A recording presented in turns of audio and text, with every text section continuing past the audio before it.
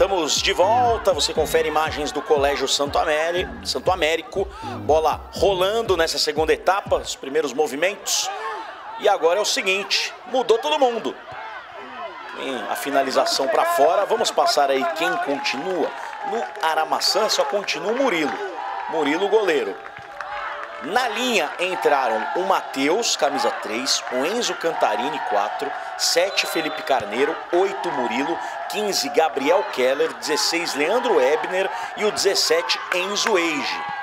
São esses os atletas aí do Clube Atlético Aramaçã. No Paulistano tivemos também modificações. Entraram aí o Guilherme com a número 5, o Eduardo com a 4, o 9 Gustavo, 10 Vitor, 19 Enzo e o 20 João França. Só vamos esperar a confirmação se o Rafael Tornovski entrou. Daqui a pouquinho a gente confirma para você tá acompanhando aí o Rafael Tornovski, que é o goleirão, goleiro reserva do Paulistano, que vem para cima, busca o empate. O Aramaçã vence por 1 a 0 o gol do Leonardo Pavan. Tem escanteio paulistano, tá lá dentro da área o Enzo. Cruzamento, Enzo Cantarini tira de pé direito. Afasta o perigo. Tem o Enzo 19 no paulistano e no Aramaçã tem o Enzo Cantarini e o Enzo Eige. Enzo Eige que jogava na Tente Beach e o Enzo Cantarini que jogava no Padã. Miguel Fortunato. Várias alterações nesse segundo tempo. E o Matheus, você viu? Ele deu um peixinho ali, quase que ele, que ele raspa o nariz no, no gramado, né? De tão baixo que foi o peixinho do Matheus, vale tudo para afastar a bola, né? O time do Aramaçá. Olha o chute pro gol! Gol!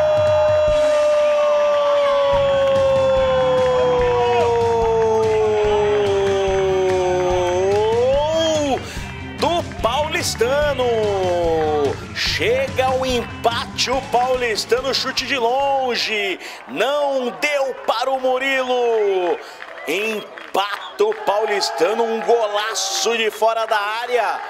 Um a um, Miguel Fortunato. Não deu tempo nem desses atletas novos aí que entraram no Aramaçã de esquentarem.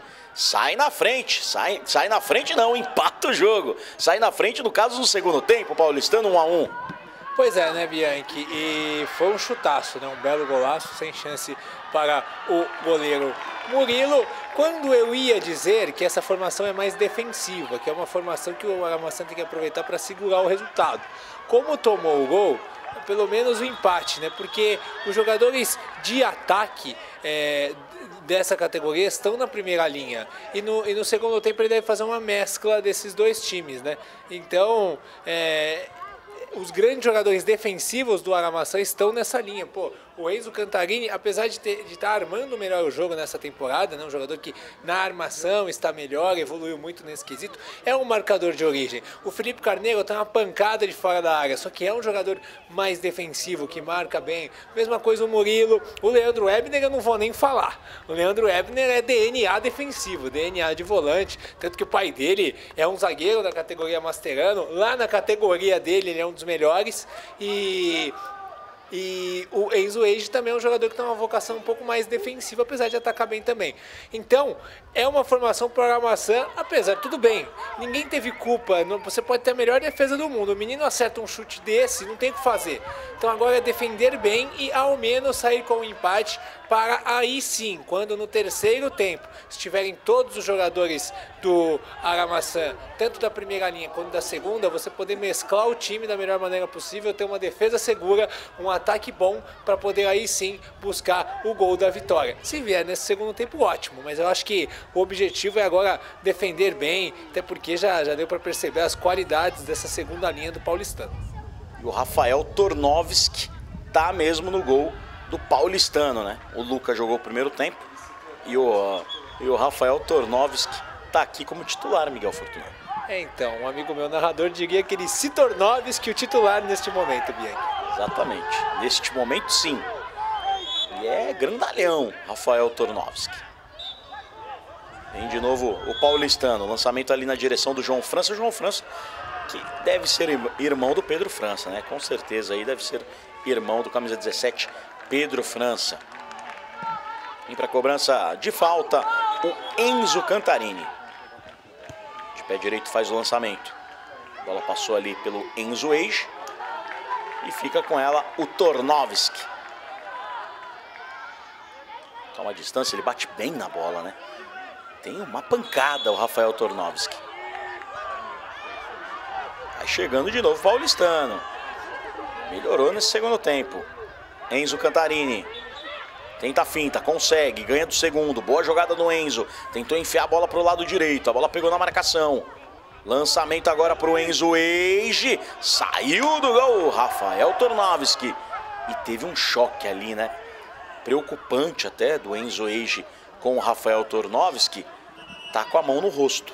Sim, sim, acabou levando pior o goleirão. E sobre o que eu dizia, né, do, do, do, chamado DNA ofensivo e defensivo, o jogador que defende mais, que ataca mais. O jogador que mais tem vocação para o ataque nesta formação do segundo tempo é o Enzo Eige, o nosso querido trava-língua. Ele joga lá no ataque, então ele está jogando meio que isolado na frente. É o jogador mais adiantado, justamente porque os outros marcam melhor do que atacam. Agora, o Rafael Tornovski, ele tem uma quebrada de bola excelente. Fico imaginando daqui uns 4, 5 anos como que será essa quebrada de bola dele, hein? Muito boa mesmo. Excelente reposição tem o Rafael Tornovski, Miguel. Sim, né? Mostra aí a, a qualidade dele, né? E aí esse, esses garotos vão se encontrando em categorias mais à frente, né? Porque você enfrenta no sub-9 esses meninos do Paulistano, se você continua na seleção, continua levando a sério, e eles também, você vai encontrar com eles no sub-11, no sub-13, no sub-15, por aí vai. Então, é, pode ser que... Olha aí a bola dentro da área do Enzo Cantarini, pega na marcação. Daqui a pouquinho o Miguel completa, porque tem contra-ataque do Paulistão que não vai dar em nada.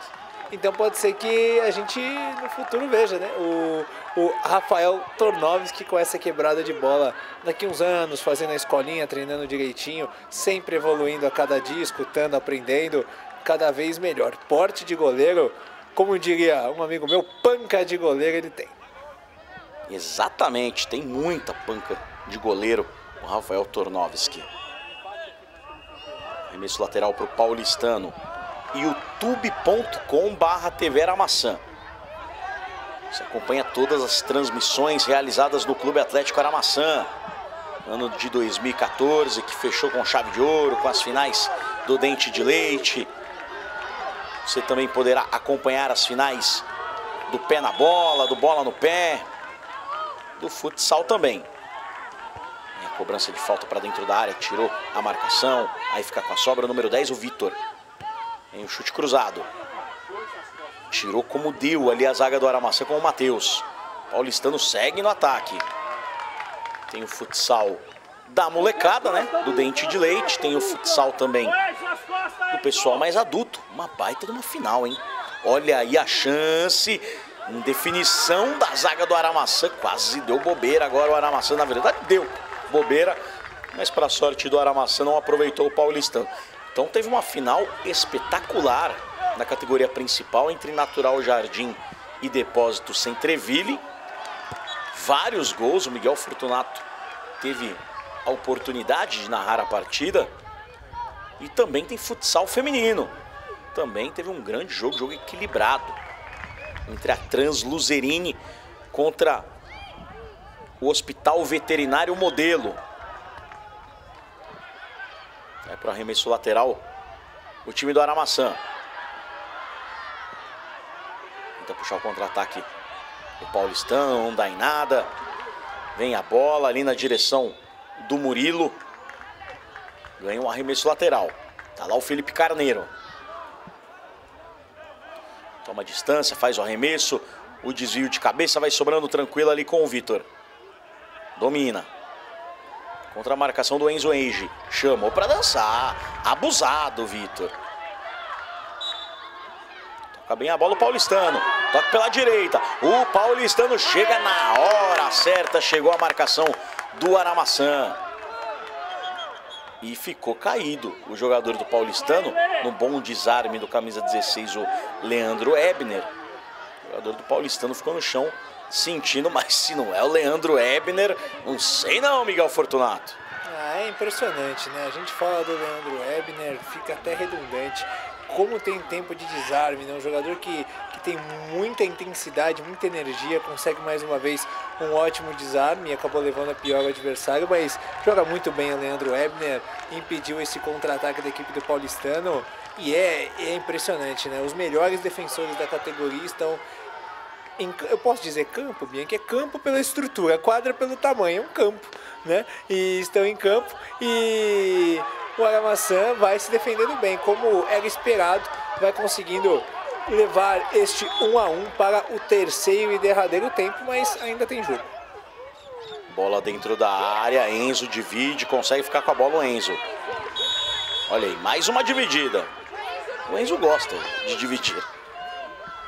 Lançamento vai para fora, lateral para o Paulistano. Já está recuperado o João França, camisa 20. Aquele momento do atendimento foi exatamente do João França. E aí pediu falta o Enzo Age. O árbitro mandou seguir, Miguel. Eu achei que teve uma falta ali no Enzo. É, houve um contato ali, o Enzo pediu a falta, mas o árbitro estava pertinho. Convenhamos, né? Hoje a visão do árbitro é melhor, Bianchi. Então, se ele viu ali de perto a falta, eu vou com ele. Cobrança do tiro de meta. Tá um a um. Aramaçã e Paulistano, final do Interclubes, categoria sub-9. Esse é o segundo tempo, dos três que teremos. Terceiro tempo mais longo. E aí, a lá vão ter. O técnico fica à vontade para escalar os seus jogadores. Primeiro tempo é uma equipe, segundo tempo outra. E aí no terceiro tempo, tec, os técnicos, né? O Vinícius Oliveira do Aramacê, o Carlos Vasconcelos do Paulistano podem escolher aí os atletas. Vem a cobrança do escanteio, que bola! Que bola! Bola venenosa ali para cima do Murilo. Você viu que cobrança, né? Impressionante, né? É, é, é realmente para tomar cuidado, né? Essa bola aérea com certeza vai continuar no terceiro tempo. A Aramaçã vai se defendendo como pode, né? É um jogo muito difícil, né? Um título que se vier vai ser muito valorizado. Só que fica essa questão da falta de ofensividade no segundo tempo. É bola para o Enzo Age, né? Você vê que o, Enzo Cantarini sai jogando bem ali. O Leandro Ebner desarma, o Murilo defende. Eu acho que o Gabriel Keller podia se aproximar um pouco mais do Enzo Age porque ele não consegue aparecer para o jogo, né? Então a falta do Gabriel Keller, que é também um pouco mais ofensivo, não tanto quanto seu irmão, mas é um jogador um pouquinho mais ofensivo, poder encostar um pouco mais e aí sim poder ajudar o Enzo Age, porque ele está muito isolado. Ele já não é um centroavante, o Enzo Age, não é. Então, você precisa de ajuda, porque senão fica complicado, né? Porque apesar de você defender bem, tem que também segurar um pouco a bola, senão fica só o paulistano com a bola. Só o paulistano com a bola, fica aí o, o, o, o perigo, né? Então vamos ver se para o terceiro tempo isso muda e vai mudar pelos jogadores que vão entrar. Acabou, fim de papo nesse segundo tempo. TV era maçã, que já nasceu campeão.